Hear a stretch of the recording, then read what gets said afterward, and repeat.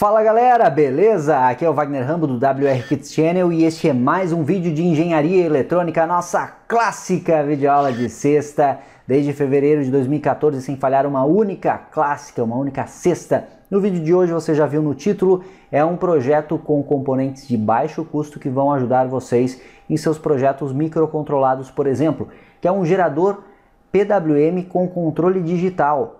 Tem um microcontrolador mais simples que não tem PWM por hardware e você quer um PWM estável com passos discretos, este circuito vai te ajudar bastante. Por exemplo, um 8051 que não tem um PWM próprio ou PIX mais simples de 8 pinos, por exemplo, 12F629. Então, este projeto pode ser utilizado em conjunto com outros, certamente vai te ajudar bastante, você vai gostar. Utiliza componentes clássicos muito bons Vamos aprender mais um pouco sobre eletrônica, como sempre. Valeu sua audiência. E eu lembro você que este vídeo é um oferecimento da Toroid do Brasil. Acesse toroid.com.br. Primeiro link aqui da descrição. Verifique aí, faça a cotação para o seu transformador toroidal sob medida para o seu projeto em toroid.com.br. Vamos para o vídeo de hoje. Cursos Hotmart na descrição. Prontos para mais uma clássica? Prontos para mais uma legendária? Let's get started.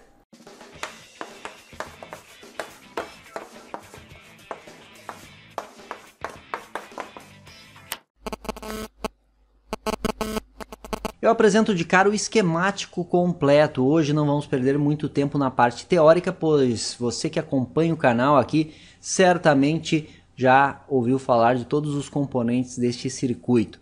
Eu tenho aqui o PDF, eu deixo disponível para download aqui na descrição, clique em mostrar mais, faça o download e monte esse circuito que é bem interessante. Olha só galera, tenho certeza que muitos vão botar o olho e já vão identificar o que implementamos aqui, pois é simples a lógica. Nós queremos controlar com bits discretos um sinal PWM. Então aqui galera, eu estou gerando o meu clock, a minha frequência de PWM com o 4093. 4093, que é o circuito integrado CMOS que tem as portas Schmidt Trigger, eu ligo como inversores, eu tenho aqui neste primeiro a configuração como oscilador, que depende de R1 e C1. No caso aqui eu estou utilizando 3K13 e 47 nanofarad. Com isso eu tenho uma frequência próxima de uns 13 kHz na prática. E eu bufferizo esse sinal, aplico um buffer com outra porta inversora do 4093 que é esta segunda porta aqui. No pino 10 eu vou ter o sinal de clock que vai ser aplicado a um circuito integrado 4017. Circuito clássico também, um contador Johnson, que neste caso específico estou utilizando quatro saídas dele, mas você pode utilizar mais saídas, depois eu já explico para você o porquê disso. Pino de enable é no GND para habilitarmos e eu reinicio aqui, Q4 quando é acionado, eu reinicio aplicando um pulso no pino 15 que é o reset. 4017, a cada borda de subida de clock aqui, ele aciona uma das saídas, aciona sequencialmente. Então, no primeiro pulso, Q0 vai a 1, depois Q1, Q2, Q3. Quando Q4 for a 1, eu dou um reset, portanto, eu volto para o Q0 ou seja, ele fica trocando Q0, Q1, Q2, Q3, Q0, Q1, Q2, Q3. Perfeito? Aí, galera, eu aplico estes sinais através destes diodos aqui, um N4148, para não haver transbordo, ou seja, para eu não curto-circuitar mais saídas do 4017, prejudicando o meu sinal PWM. Portanto, eu aplico estes sinais em chaves analógicas que eu tenho o controle digital. E aqui está o segredinho para gerar o nosso Dutch Cycle do PWM. Eu vou utilizar o 4066, que todo mundo já conhece, é outro CMOS, que colocando o nível lógico alto nos pinos de controle aqui, eu aciono a respectiva chave bidirecional analógica, essas chaves internas dele aqui. Então, aqui nos pinos 13, 5, 6 e 12 do 4066, você pode aplicar o sinal que vem de um microcontrolador, por exemplo, um PIC mais simples, um 8051 ou então um microcontrolador que você não queira sobrecarregá-lo, queira a partir de apenas bits discretos você ter um PWM controlado facilmente. E no caso deste circuito aqui, eu estou utilizando resistores de pull down de 1 kΩ e eu ligo aqui em uma deep switch para 5 volts. Quando a chave respectiva chave está aberta, eu tenho nível 0 em cada um dos seus nós aí, no respectivo nó.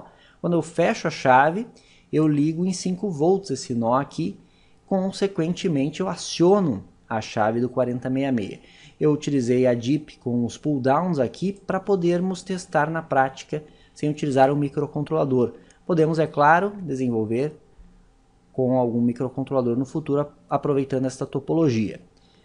Aí as saídas das chaves eu ligo todas juntas aqui, perfeito, para eu ter a resolução do sinal.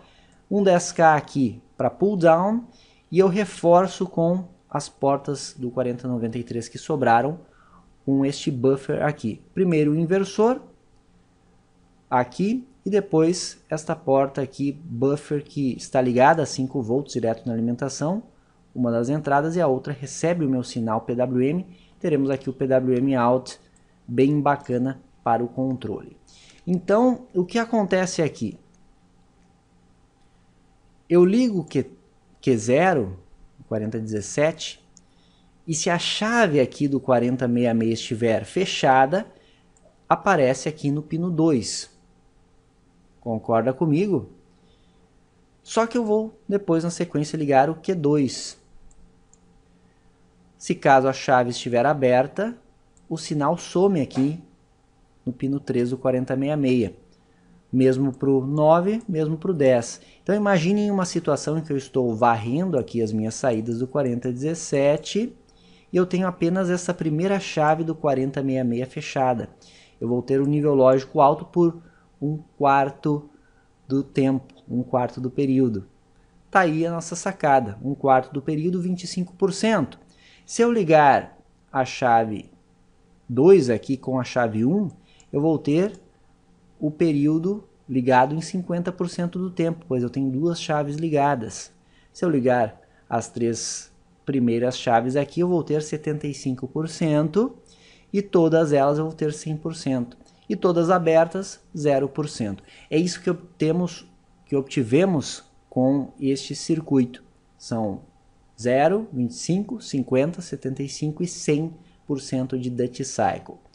Veja que, como eu mencionei, se você utilizar as 10 saídas do 4017, certo? Você facilmente tem aí um PWM com resolução de 10 em 10% e muito preciso. Concorda? O PWM acaba sendo bem preciso, pois é um controle digital. Só que utilizando as 10 saídas aqui, você precisa de pelo menos mais 2,4066. Essa seria uma desvantagem e precisa de 10 pinos de controle do microcontrolador. Mas também existem outras sacadas para você minimizar os pinos de saída, por exemplo, a partir de shift registers. Então, tudo vai se interligando aí, você pode implementar das mais diversas formas. Então de 10 em 10% fica interessante. Eu montei com quatro saídas apenas, utilizando um único 4066, para simplificar a montagem e para passar essa ideia para você. Nas clássicas nós sempre procuramos trazer uma ideia inicial que o assinante pega essa ideia e aproveita nos seus projetos, melhora os circuitos e aprende ainda mais sobre eletrônica. Capacitores de desacoplamento para os circuitos integrados, como sempre, aí o valor de 100 nano, entre os 0 e os 5 volts. O circuito está sendo implementado em 5 volts, mas como eu estou utilizando circuito CMOS, eu posso modificar aqui, posso alimentar até o limite dos componentes, aí uns 15 ou 18 volts. Verifique os datasheets deles.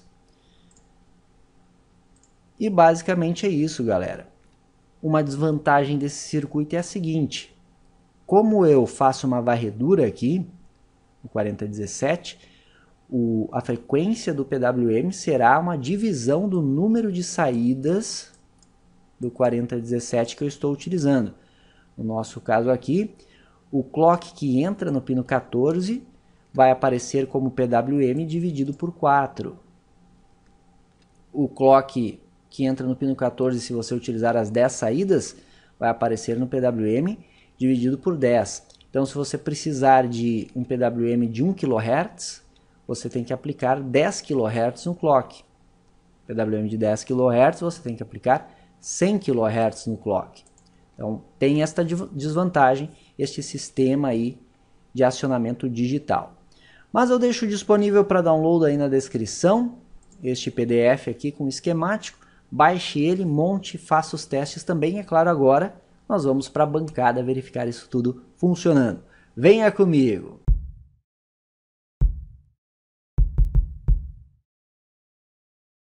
Tá aqui o circuito montado na bancada, você tem os circuitos integrados que utilizamos, 4093 que gera o clock e também serve como buffer de saída do nosso PWM, o 4017, você pode utilizar mais 4017, aproveitar essa ideia para expandir e aumentar a resolução do PWM, e o 4066 responsável pelo controle do Dutch Cycle a partir dos bits de seleção que aqui neste projeto, para o teste prático, estou utilizando a Deep Switch, chaves simples aí para verificarmos o funcionamento. Temos, portanto, quatro passos. Temos então as opções de 0, 25, 50, 75 e 100% para este PWM, já é útil para algumas aplicações. Utilizando os mesmos circuitos integrados aqui em 40 66 extra você tem até 8 passos para o Dutch Cycle. Utilizando mais você tem aí resolução de 10 em 10%. Aí acima de 10 em 10%, utilize mais 40 17. É, você consegue aí resoluções bem interessantes com uma lógica simples. Vamos verificar o funcionamento. Já estou alimentando com 5 volts da bancada. Vamos ver os principais sinais deste circuito na tela do osciloscópio. Estou utilizando o canal 3 da fonte de bancada aqui, BK Precision, 5 volts. Se eu liberar a saída, nós vemos que o consumo não é perceptível. O consumo do circuito é muito baixo, é inferior a 1 mA, por isso que eu não tenho registro aqui na minha fonte, no display que mostra o consumo. Bem interessante isso, além de ser um circuito simples, você tem um baixo consumo o que facilita a utilização com sistemas a bateria, por exemplo. Então vamos analisar agora os sinais deste projeto. Aí está o nosso osciloscópio. Vamos analisar aqui primeiro a saída do oscilador com canal 1. Então vamos ligar aqui. Ajustar o trigger do canal 1 e depois vamos analisar o PWM propriamente dito. Tá aí o nosso sinal, galera. Esse é o sinal do oscilador, ó. Sinal bem bacana, uma frequência aí 13.12 kHz, estamos medindo aqui no instrumento. Observe atentamente que o Dutch Cycle é um pouco inferior a 50%, mas isso não importa, pois o 4017, como ele consiste em um circuito integrado com flip-flops, sensível à borda de subida, nós corrigimos essa questão do Dutch Cycle na oscilação no próximo estágio. No nosso caso, nós vamos ajustar ele a partir do 4066. Conforme analisamos, 13 kHz, nós teremos na saída 13 kHz dividido por 10. Vamos conectar o canal 1 mesmo na saída do circuito aqui, saída do nosso buffer. Está zerado, observe que quando eu ligo este bit aqui, eu tenho um resultado na tela. Ó. 3.29 kHz a frequência. Então estamos dividindo por 4. Faz total sentido conforme analisamos na parte teórica. O nosso PWM terá o clock dividido pelo número de saídas aqui que eu estou utilizando no 4017. Essa seria uma desvantagem do sistema. Então, observe que quanto maior a resolução, maior a divisão de clock também. Se utilizar as 10 saídas do 4017, você terá a frequência de saída 10 vezes menor que a frequência de entrada. Utilizar dois 4017 para ter aí resolução de 5 em 5%, você tem a divisão por 20, mas tudo é questão de você adaptar o seu projeto aí conforme a sua necessidade. Então aqui o nosso Dutch, vamos aproveitar aqui canal 2, deixar no clock para vermos os sinais juntos aí no nosso projeto. Beleza. Vamos botar aqui o canal 1 mais para baixo. Tá aí o nosso sinal, um sinal bem bacana, como você pode observar. Eu quero adicionar a medida aqui do canal 1 para verificarmos o Dutch Cycle Positive. Dutch Cycle, ok. Excelente, 25%. Aciono o segundo bit aqui, 50%, 75% e aí 100%, pois estamos sempre em nível lógico alto com os 4 bits em high. Desligando o mais significativo aqui eu volto para 75% de Dutch Cycle. Desligando o próximo 50%. 25% e 0% que seria o pino em low. Interessante, não? Como podemos observar aqui, nós temos uma borda de subida bem bonita aí no nosso PWM. Trigando para borda de descida, vemos esta característica aí. Também bem bacana a descida do nosso sinal. E lembro vocês que aqui no projeto eu utilizei as Deep Switches para emularmos os bits, a troca de bits, mas na prática você provavelmente vai aplicar este circuito, essa topologia com um microcontrolador. Por exemplo, um PIC de 8 pinos, o 12F629, o 12F675 ou um 8051 que não tem PWM em hardware, acaba sendo muito útil esse sistema, inclusive para poupar processamento até se você quero utilizar aí mais sinais PWMs controlados com um outro processador, um AVR, um PIC mais sofisticado, você poupa processamento com esta técnica, técnica simples, ainda mais se não precisar de passos muito com uma resolução muito grande de PWM. Beleza, galera? Então tá aí mais uma clássica para vocês apresentada, um circuito que você pode aproveitar para suas diversas aplicações na eletrônica. Comente aqui embaixo o que achou, comente outras sugestões de aplicação para este circuito.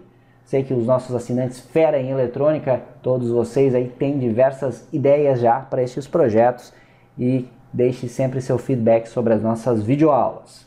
Esse foi mais um vídeo de engenharia eletrônica, nossa clássica videoaula de sexta. Não esqueça do like de sempre. Se é novo no canal, se inscreva. Também nos siga nas demais redes sociais. Temos amplo conteúdo aqui para você, entre cursos, séries, projetos e tutoriais. Mais de 2.900 vídeos. Então se inscreva e acompanhe todo o nosso conteúdo. Isso é engenharia, o uso intencional da ciência.